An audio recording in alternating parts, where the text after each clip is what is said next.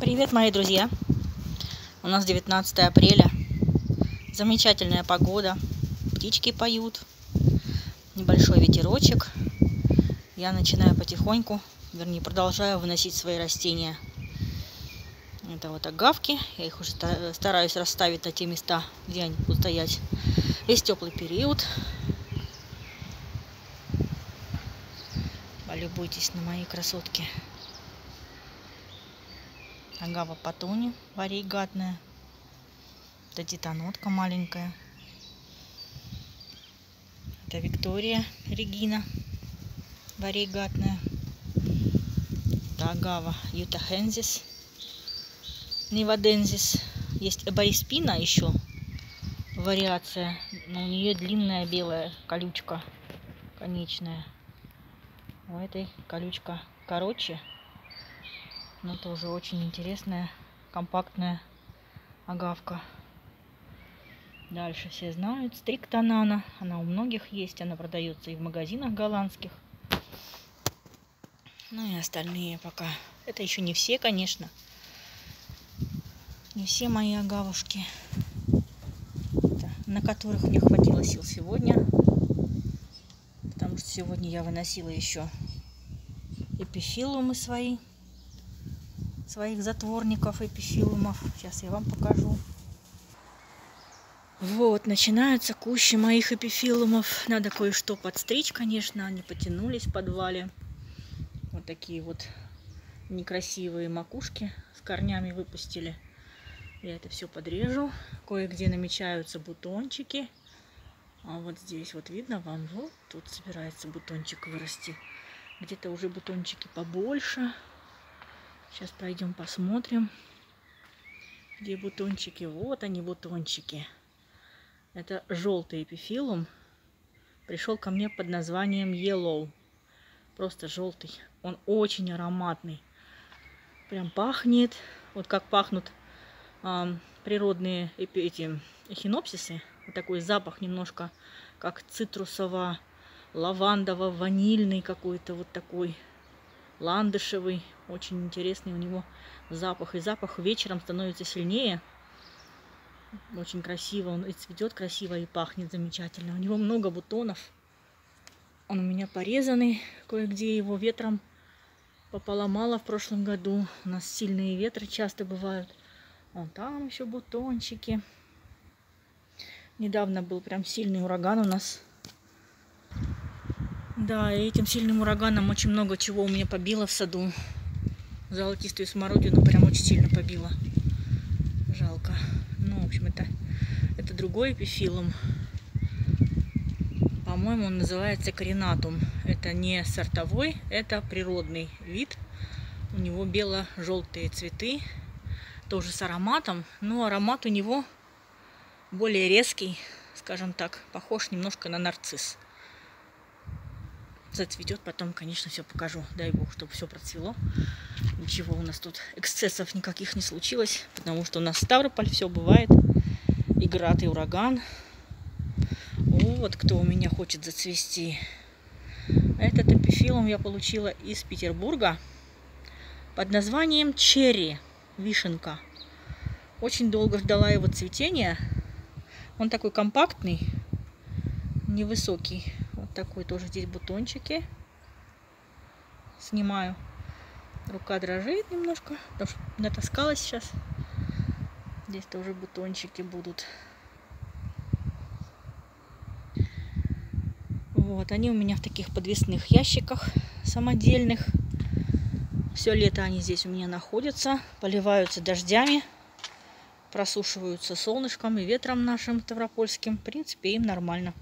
Но, конечно, бывает, что подгорают на первых лучах солнца, потому что из, из подвала, когда выносишь, если на резкое солнце попадет, вот такая вещь бывает. Вот это ожог. Ожог от солнца. С ним уже ничего не сделаешь. Я просто не хочу удалять этот лист. Он с одной стороны такой хороший, а с другой стороны вот такой он получил ожог. Вот. Здесь внизу мои цитрусовые, которые я пересаживала тоже. Кто смотрит мои каналы, видели мои видео. Вот такими пятнами пошел лайм, сладкий лайм. Подарок от Елены Сытенко. Вот он стоял дома у меня и пошел вот такими жирными пятнами наподобие, как Мейер болеет такой вот гадостью.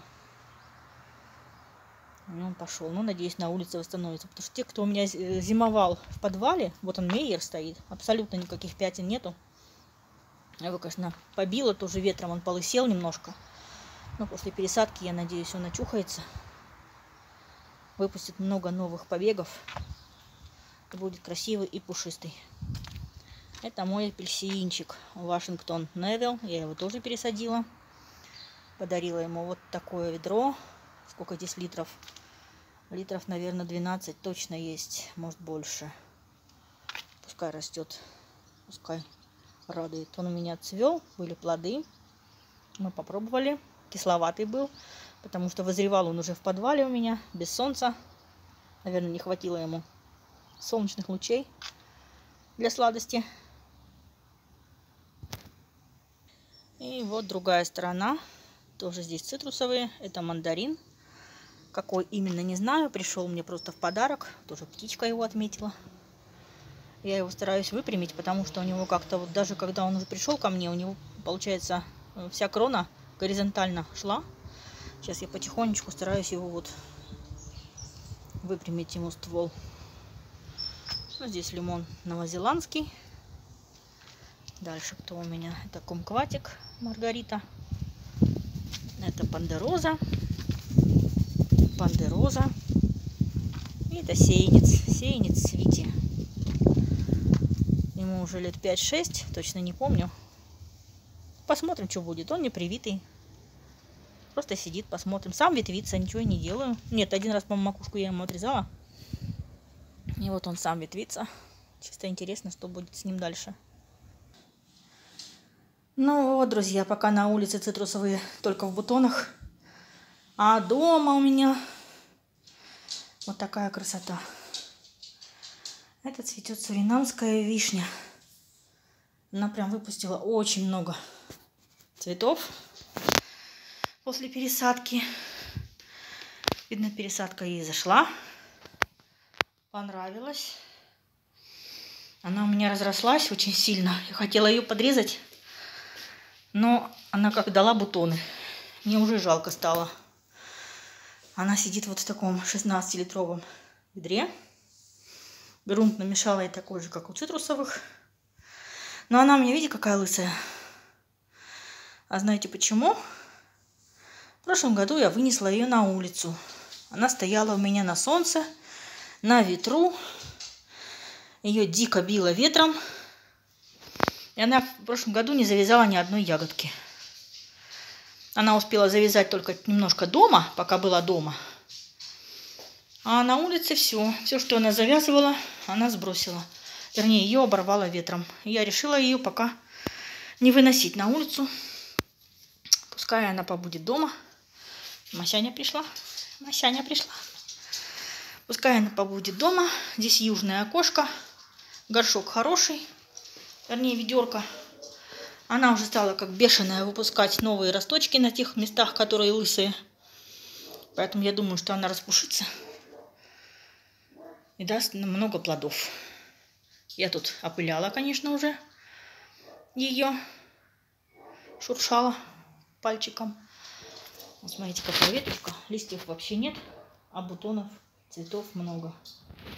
Ну и вот видно она по веткам, по сухим. Прям вот ветки, где без листьев, она выпускает там новые веточки. Вот такая моя красивая девочка. Суринамская вишня. Все косточки, конечно, я посажу. Будут саженцы. Прошлые саженцы уже все нашли себе хозяев. Уже все разъехались. Очень неприхотливое для комнатного выращивания растение. Я очень рекомендую его любителям экзотики. Потому что лимоны, инжиры, многих есть. А вот это чудо пока еще не сильно оно распространено. Наверное, не сильно люди о нем знают. Но она очень интересная на вкус. Вкус у нее вот, вот сочный, сладкий. Есть немножко хвойного привкуса. И, как на мой взгляд, немножко есть от болгарского перца чего-то такого тоже привкуса.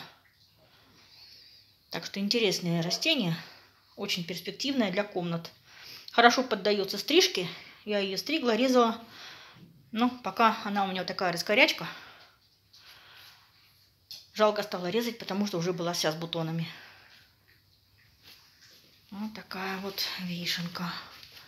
Она стоит в окружении алоэ, сансочки, сансевьерии. Вот такая вот красота. Запах немножко есть. Запах, кстати, похож на именно уличную вишню. Такой немножко сладковатый, гайковатый запах. Аромат от нее есть. Ну, такая вот, друзья, у меня сегодня история. Выносила снова на улицу эпифилумы. В следующем видео покажу новые кактусята, которые я приобрела недавно. Пополнилась моя коллекция кактусов. Если кто-то смотрит меня, кто любит кактусы, покажу, расскажу, что у меня из новиночек. Всего вам хорошего. Пока-пока.